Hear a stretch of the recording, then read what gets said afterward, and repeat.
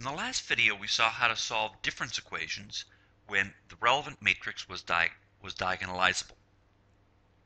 Now we're going to look at a difference equation where the matrix is not diagonalizable, and we're going to modify our technique to solve that too.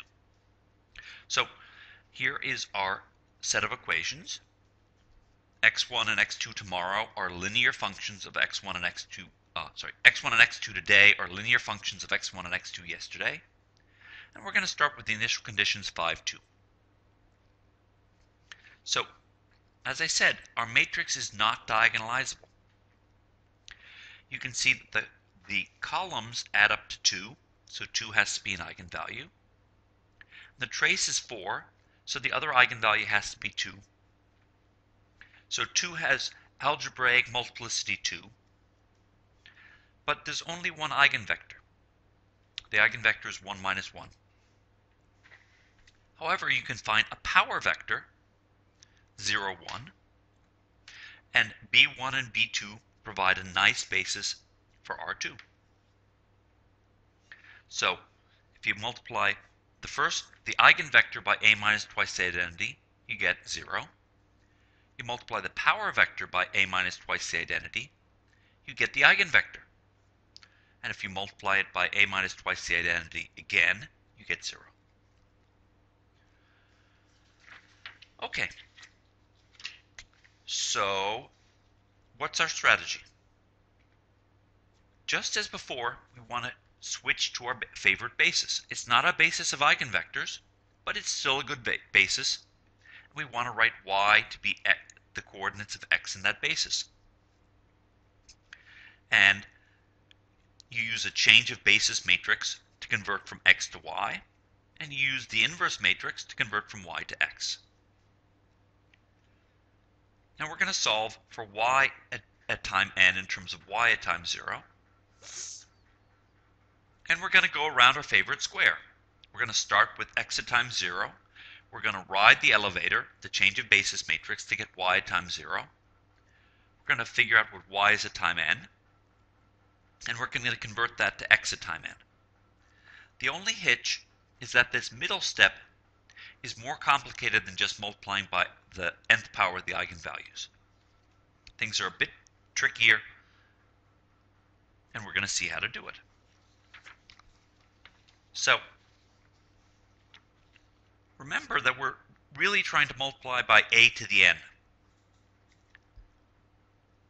So, x at time n is a to the n times x at time 0. So we have to apply a to the n to b1, and we have to apply a to the n to b2. And we did this. We saw how, in a previous video, we saw how a power of matrix acts on an eigenvector, and how a power of a matrix acts on a power vector. so acting on the eigenvector, it just multiplies by, by the nth power of the eigenvalue, and gives us 2 to the n times b1 acting on the uh, acting on the power vector, it gives us the nth power of the eigenvalue times the power vector plus a second term, which involves a minus lambda i times the power vector. But that's just our first basis element. So we can write down what x at time n is it's y1 of 0 times this plus y2 of 0 times this. And if you collect all the b1 terms, they're over here. You collect all the b2 terms, that's just going to be, it's over there.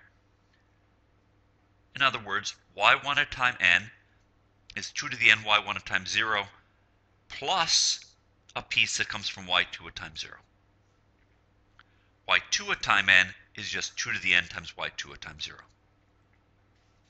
So it's partially decoupled. You can solve for y2 at the end by just taking y2 at the beginning and multiplying by 2 to the n. You don't need to know about y1. But to solve for y1, you do need to know about y2.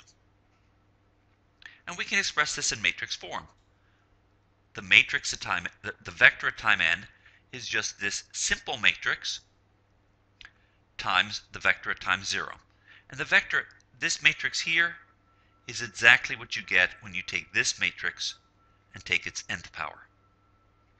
So it's not as simple as taking the nth power of a diagonal matrix, but it's not so bad. In, in addition to exponential terms, you get an n times exponential term. Okay, so now we put it all together. In our case, our initial value was 5, 2. Our change of basis matrix was the first basis element, the second basis element. It's invertible, and the inverse looks pretty similar to the original matrix, just with a plus instead of a minus. To get y of 0, our up elevator, we multiply by PBE, and we get 5, 7.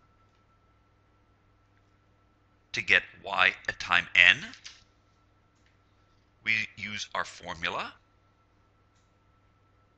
We multiply through, and we get 5 times 2 to the n plus 7n times 2 to the n minus 1. And our second entry is just 7 times 2 to the n. The second entry just gets multiplied by 2 to the n. The first entry gets multiplied by 2 to the n and picks up a piece from the second entry. And then you convert back, and we're done. A little bit trickier than doing with diagonalizable, but only a little bit trickier.